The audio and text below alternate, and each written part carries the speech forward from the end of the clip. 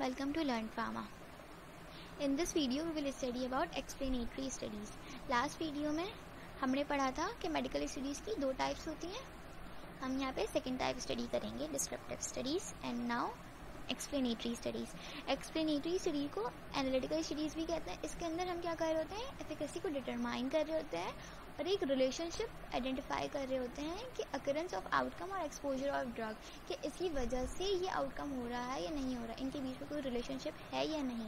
इसमें हम ये पढ़ते हैं। इसके दो डिज़ाइन होते हैं ऑब्जर्वेशनल एंड एक्सपेरिमेंटल जब हम ऑब्जर्वेशनल स्टडीज़ की बात करते हैं तो इसके नाम से पता चल रहा है कि वो खुद इन्वेस्टिगेटर ऑब्ज़र्व कर रहा होता है।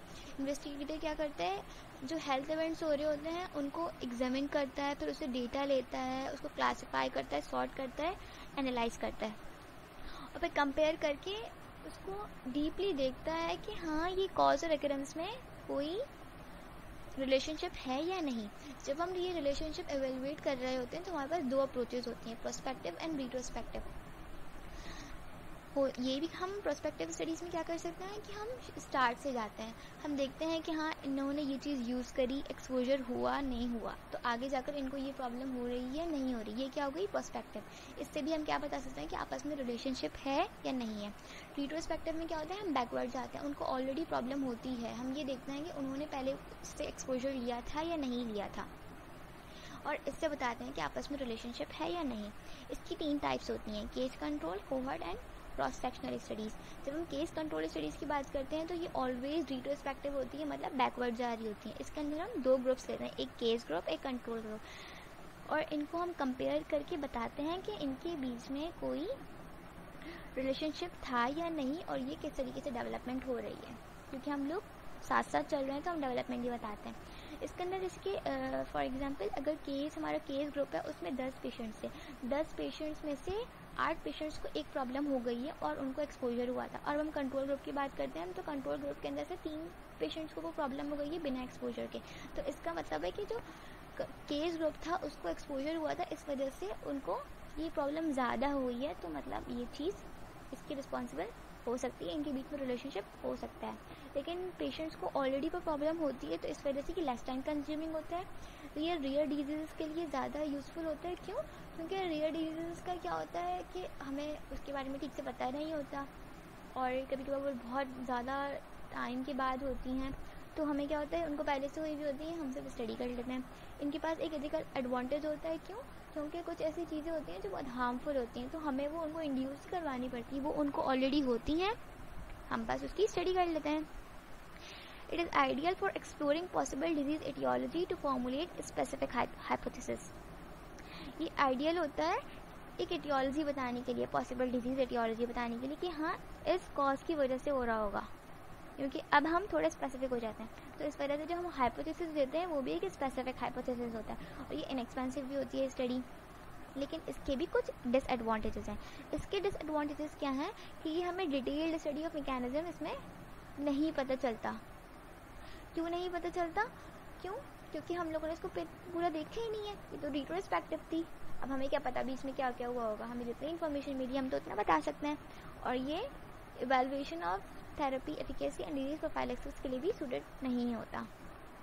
ये किस पर रिलाई करता है? पेशेंट के रिकॉल पे पेशेंट के और ये जो हमारे पास मेडिकल रिकॉर्ड होते हैं, उस पर और डेटा बेसिस पर अगर इनके अंदर कुछ गलती हुई, गलत इन्फॉर्मेशन हुई तो हमारी रिसर्च भी ख़राब हो जाएगी। Can not control extraneous variables जो बाहर के वेरिएबल्स उनको अफेक्ट कर रहे होंगे, हम उसको कंट्रोल नहीं कर सकते। एंटीसीडेंट कॉन्सिक्वेंट रिलेशनशिप्स हम ये नहीं बता सकते कि पहले आउटकम हुआ था, ये अक्रेंस हो गई थी आउटकम की, और उससे पहले इन्होंने ये यूज़ किया था, या उसके बाद इस आउटकम की वजह से उन्होंने ये चीज़ यूज़ करना शुरू कर दी थी। जैसे कि अब ये दवाई खाने के बाद उनके सर में दर्द हुआ था, या उनके सर में दर्द हो रहा था, इस वजह से उन्होंने ये दवाई खाना स्टार्ट कर दी थी। ओके अब इसके अंदर भी बाइसनेस हो सकती है रिकॉल हो सकता है पेशेंट की रिकॉल करने में गलती हो जाए, हो सकता है जो रिपोर्टर उनसे वो ले रहा है डेटा ले रहा है, उसके समझने में गलती हो जाए, उसके इंटरप्रिटेशन में गलती हो जाए और हो सकता है हम पेशेंट को सेलेक्ट करने में बाइस हो जाए। नाउ कोहर्ड स्टडीज़ और स्टडीज़ और फॉलो अप स्टडीज़ ये स्ट्रॉन्गेस्ट ऑब्जर्वेशनल स्टडीज़ डिज़ाइन है। ऑब्जर्वेशनल स्टडीज़ की जब जब हम बात करेंगे तो उसके अंदर सबसे स्ट्रॉन्गेस्ट स्ट्रॉन्गेस्ट डिज़ाइन कौन सा है? कोहर्ट इसके अंदर क्या करते हैं पेशेंट्स को इनरोल किया जाता है हुआ एक्सपोज और नॉट एक्सपोज विद करेक्टरिस्टिक्स और इनरोल कर रहे हैं, जो जिनका एक्सपोजर हो सकता है हुआ हुआ हो और हो सकता है नहीं हुआ हुआ हो। हमारे करेक्टरिस्टिक एक्सपोजर के साथ रिस्पॉन्सिबल जो किसके रिस्पॉन्सिबल है, जिसको हम आउटकम को हम देख रहे हैं। इसके अंदर हम क्या कर सकते हैं रेट एंड रिस्क बता सकते हैं, जो हमारा आउटकम है उसके डेवलपमेंट का। ये प्रोस्पेक्टिव भी हो सकता है और रिट्रोस्पेक्टिव भी हो सकता है। जब हम प्रोस्पेक्टिव की बात करेंगे तो इसके अंदर क्या होगा? हम लोग पहले कोहर्ट्स या ग्रुप ऑफ़ पेशेंट्स को सेलेक्ट करेंगे, फिर उनको फॉलो करेंगे प्रोस्पेक्टिवली ओवर टाइम ताकि देख सकें कि जो पेशेंट्स हैं, उनके अंदर जो आउटकम डेवलपमेंट हो रहा है डेवलप हो रहा है, उसके अंदर कोई डिफरेंस तो नहीं आ रहा है। लेकिन अब जैसे कि हम लोग इसका वेट करते हैं कि पेशेंट को वो आउटकम हो जाए, हमारा एडवर्समेंट हो जाए तो इसकी वजह से हमें ये क्या होता है टाइम टाइम कंज्यूमिंग भी होता है और एक्सपेंसिव भी होता है। लेकिन जैसे कि हमारे सब कुछ सामने हो रहा है, हम सब कुछ देख रहे हैं एनालाइज कर रहे हैं तो इस वजह से हमारे पास कंप्लीट डिस्क्रिप्शन ऑफ़ स्टडीज़ होती हैं और ग्रेटर एश्योरेंस होता है। लेकिन इसमें क्या प्रॉब्लम होती है कि पेशेंट हो सकता है रिस्पॉन्ड करना बंद कर दे तो ड्रॉप आउट का प्रॉब्लम होता है सिलेक्शन फ्रैक्शन बाइस होता है सर्वेलेंस बाइस होता है। और ये भी हो सकता है कि जो करंट प्रैक्टिस है ड्रग यूज़ है और जो एक्सपोजर फैक्टर्स हैं, वो ओवर द टाइम चेंज ही हो जाए। जब तक हमारी रिसर्च कंप्लीट हो रही है, वो चेंज हो जाए। लेकिन हमें इसके अंदर कुछ बेनिफिट्स भी होते हैं। क्या बेनिफिट्स होते हैं? कि हम, इसके अंदर हमें इन्फॉर्मेशन मिल जाती है रिस्क और बेनिफिट्स की। और हमारे पास एक फ्लेक्सिबिलिटी होती है कि हम जो वेरिएबल चाहें वो चूज़ कर सकें। नाउ रिट्रोस्पेक्टिव इसके अंदर क्या होता है? All data including exposure and outcomes are obtain from existing records और डेटा इसके अंदर सारा एक्सपोजर और आउटकम का सारा डेटा जो होता है, हम लोग कलेक्ट कर लेते हैं। एग्जिस्टिंग रिकॉर्ड्स और डेटा बेसिस इसका मतलब क्या हुआ? कि जब हम इन्वेस्टिगेशन स्टार्ट कर रहे हैं तब वो आउटकम हो चुका है। वो आउटकम पहले ही हो चुका है उसके बाद हम इन्वेस्टिगेशन स्टार्ट कर रहे हैं। लेकिन जब हम पेशेंट को सेलेक्ट कर रहे होते हैं तो हम देखते नहीं कि किसको था किसको आगे जाकर हुआ किसको नहीं हुआ। हम पेशेंट को सेलेक्ट कर लेते हैं। डेटा उनके जो पेशेंट का जो डेटा होता है उसको कलेक्ट कर लेते हैं। और फिर उनको फिर उनको इन ग्रुप्स में डिवाइड किया जाता है और फिर देखा जाता है कि आगे जाने के बाद उनको वो हुआ था या नहीं हुआ था। Once all patients are included in their groups, examiners at later point can exa, examine the existing data, whether the patients in each group did or did not develop outcome of interest, उनको हुआ या आगे जाकर ये नहीं हुआ। ये कोई को होता है क्योंकि उनको ऑलरेडी हुआ हुआ है और इसी वजह से लेस एक्सपेंसिव भी होता है। लेकिन इसके अंदर क्या होता है डेटा इनक्यूरेसी हो सकती है क्योंकि हम लोग रिलाई कर रहे हैं रिकॉर्ड्स के ऊपर और डेटा बेसिस के ऊपर। नाउ थर्ड क्या है?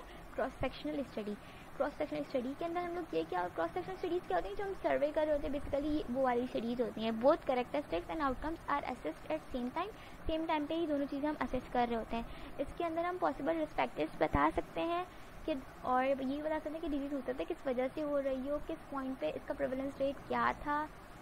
हम लोग सब बता सकते हैं इसके बारे में। Influence of practice and believe on health के उनकी क्या बिलीव थे और क्या प्रैक्टिस थी तो उसकी वजह से हेल्थ के ऊपर क्या इफ़ेक्ट पड़ रहा है। लेकिन एक्सपेंसिव होता है क्योंकि हम तो सिर्फ़ डेटा कलेक्ट कर रहे हैं और कोई ड्रॉप आउट का प्रॉब्लम भी नहीं होता और ना कोई ज़्यादा टाइम कंज्यूमिंग होता है। लेकिन इसके अंदर क्या प्रॉब्लम आती है? सिलेक्शन वाइज जो हम लोग पेशेंट चूज़ कर रहे थे कि उसके अंदर ही कोई प्रॉब्लम ना हो गई है।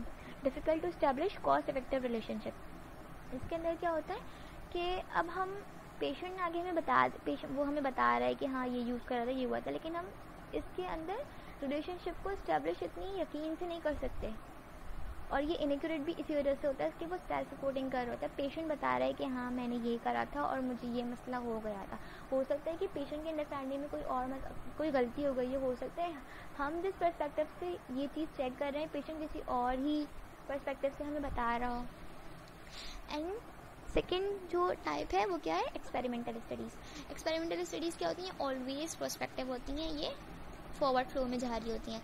Involve actual intervention and manipulation of variables जो वेरिएबल्स होते हैं, उनकी एक्चुअल इंटरवेंशन यहाँ हो रही होती है। जो हम वेरिएबल ले रहे होते हैं, वो हमारी स्टडी को मैनिपुलेट कर रहे होते हैं रेगुलेट कर रहे होते हैं। इसकी दो टाइप्स होती हैं कंट्रोल्ड एंड अनकंट्रोल्ड कंट्रोल के अंदर क्या होता है, हम कंपैरिजन ग्रुप्स को यूज़ कर रहे होते हैं। It allows for determining possible influence इसकी वजह से हमें क्या मतलब पॉसिबल इन्फ्लुएंस भी पता चलता है कि हाँ इनको नहीं हो रहा है इनको हो रहा है तो किस वजह से हो रहा होगा। कंपैरिजन भी कर सकते हैं हम अदर प्रूवन थेरेपीज़ के साथ और ये स्ट्रॉन्गेस्ट टाइप है स्टडी की। किसी भी स्टडी में सबसे स्ट्रॉन्गेस्ट टाइप कौन सी एक्सपेरिमेंटल की कंट्रोल स्टडी अनकंट्रोल के अंदर क्या हो रहा होता है? हम सीरियस कंडीशन में यूज़ कर रहे होते हैं जब हम प्लेसिबो को यूज़ नहीं कर सकते और हमारे पास कोई और तरीका भी नहीं होता तब हम अनकंट्रोल स्टडीज़ को यूज़ करते हैं। इसके इसके अंदर हमारे पास आ, कोई वो ऑथेंटिक टाइप की इन्फॉर्मेशन नहीं मिल पाती, क्योंकि हमने कंपेयर कंपेयर ही नहीं किया होता कंपेयर करते हैं तो हमें ज़्यादा रिलायबल इन्फॉर्मेशन मिलती है ना। इस वजह से हमें इसमें क्या होती है? सिर्फ़ प्रिलिमिनरी प्रिलिमिनरी इन्फॉर्मेशन मिलती है। आपको ये वीडियो समझ आई है, पसंद आई है तो प्लीज़ मेरे चैनल को सब्सक्राइब कीजिए, इस वीडियो को लाइक कीजिए, और प्लीज़ इसे अपने फ्रेंड्स के साथ शेयर कीजिए, ताकि दूसरे लोग भी समझ सकें और उनकी भी हेल्प हो सके। Thank you